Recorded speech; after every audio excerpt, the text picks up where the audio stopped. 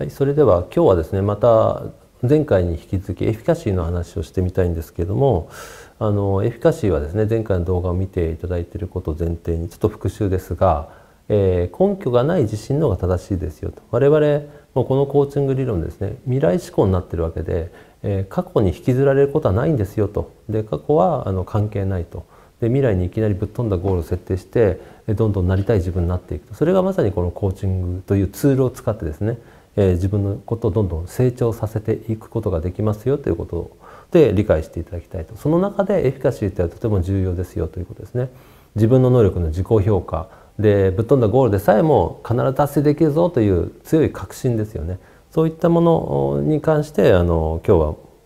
あの補足のお話をしてみたいと思います。でエフィカシーは根拠のない自信の方が正しいという話をしましたけどもそれでもなかなかエフィカシーって上がらないですよねっていうねあの話もよく聞くんですけれどもじゃあどうやったらエフィカシーをあの上げていくことができるんでしょうか？これはねいろんなやり方があるんで、えー、まあ簡単なやり方をですねちょっとお伝えしていきたいなと思うんですけどもエフィカシーってあの言葉で説明するのは実は簡単ですよね。自分の能力の自己評価って言いますけどその中身はあの決して言語ができない部分が非常に多いというふうに理解してください。エフィカシー具体的にじゃあエフィカシーはどんな感じでしょうかねって自信を持ってます。なんかオーラを感じますとかいつも堂々としてます。それは言葉でできませんよね。あの表現できないと。定義できない。あの記述できない。そういった非言語のその雰囲気も含めてエフィカシーだとしたらそこをどうやって自分の中に取り込むかですよね。それは一番いいのはエフィカシーがすんごいぶっ飛んだ高いエフィカシーを持った人に会っちゃうのが一番ですね。ですので是非あのなかなかエフィカシーが上がらないよっていうの方がこの動画を見てる方であなたの中でもし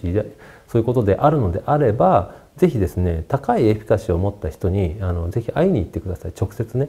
でそこであのその人が何でなんでそんな堂々とできるんだろうその堂々としてる雰囲気ってこういうことかっていうことをそこで体感していただくといいんじゃないかなと思います。で私はちょうどですね2009年だったと思うんですけど2009年の12月に、えーと、ルータイスが日本に来られてですねあのトマブチ博士と TPI の実はライブということで普通 TPI って2日間であの DVD を見て動画を見てでファシリテーター形式で学ぶんですけれどもその12月2009年の時は2日間苫淵博士とルルーがルータイスがですね直接みんなにわーっとこう講演としてあの喋ってくれたんですね。その TPI の中身を。でルーがまず思いっきり喋ってでそれに対して苫淵博士が解説していくと。すごい内容の濃い。いわゆるその DVD で話す以上の内容をそこでいっぱいあの今から思えば聞くことができたんですけれどもそこで一番というかまあ強烈なメッセージを受けたんですけれどもその中で今から思えばというかその時の衝撃も今でも忘れないんですけれども、えー、エフィカシーですよねこれがエフィカシーかっていうのをルーとか苫淵博士から感じましたそれはもちろん苫淵博士の講演会とかそれまで行ったこともありましたけれども実はその TPI のライブで六本木ヒルズの最上階のセミナールームであったんですけど300人か400人ぐらい集まってたんですね。えー、非常に盛り上がって熱気があってでその当時もやっぱ30万とか40万とかっていうあのコースによって多少金額の差はあるんですけどまあ30万以上ですよねそれを申し込んでる方が300人も400人もいるのかっていうね衝撃と、えー、六本木ヒルの最上階なんて行ったことがないわけですよね。でだったらもう自腹でそんな30万以上も出した、ね、ことがない自分の状況の中でびっくりしながらその申し込みをしてでも行くぞっていうことで行ってもうあの早くから行ったわけですね。朝早くから。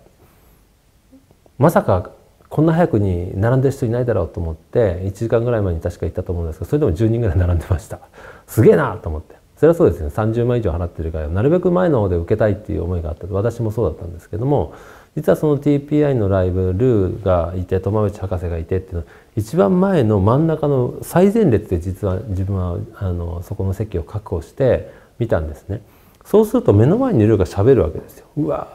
で苫内博士がまた喋るみたいな。もう強烈に言葉だけじゃなくてなんかとんでもない非言語の情報がどんどんどんどん自分の中に取り込まれてその中の大きな柱の一つはやっぱりエフィカシーですよね。